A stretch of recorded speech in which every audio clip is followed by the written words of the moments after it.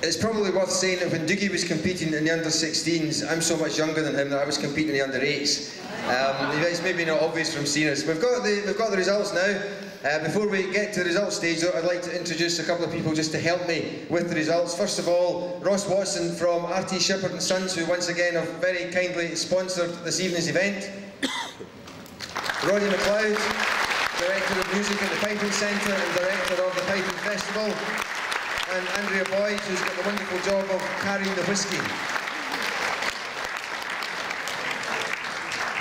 It's been a fantastic competition this evening, but as with all these competitions, there can only ever be one winner, and I've got the winner here, and it can take me 10 seconds or 10 minutes to unwrap this bit of paper or do a bit of origami or something. But on the basis that we've got a festival club to start in the Piping Centre 15 minutes ago, I think we'll just do it in, um, in quick time. I can't read Roddy's writing. what does it say? No, I'm only kidding. The winners of the RT Shepherd and Sons Quartet competition for 2012 are, or is, is it singular or plural? Four pipers or a pipe band. We want to debate that for 10 minutes as well. No, we won't. Inveraray District Pipe Band.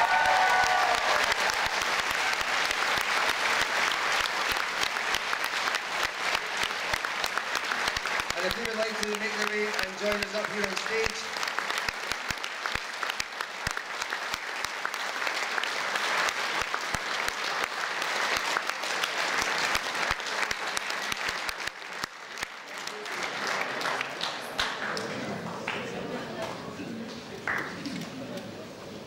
I think they're coming now.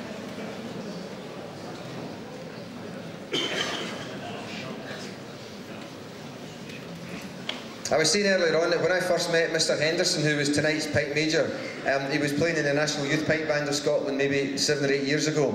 And in these days he was just known as Ali Henderson. But now there's a pipe major, it's Alistair Henderson.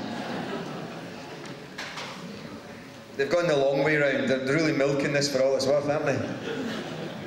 That's pipers for you. Can I just say before we get to the, just while we're waiting for the guys coming, please join us at the Piping Centre tonight if you can. We've got a great night at the, um, the Festival Club tonight and every night this week, please come along. Uh, I'd like to ask Ross to present the trophy, the RT Shepherd and Sons trophy to Alistair Henderson from Inveraray District Pipe Band. Well done guys. Congratulations.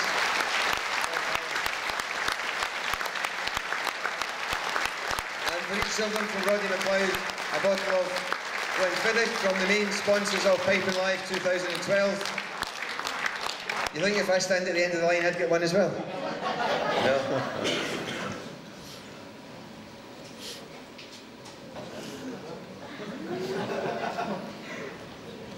There we go. Next year is the 10th anniversary of Piping Live. It'll be a very, very special quartet competition. The competition was really tough tonight. Inveraray are very worthy winners. We'll see you all again here next year for another quartet competition. But please come back for the rest of Piping Live and enjoy it with us. Thanks very much, folks. Safe home.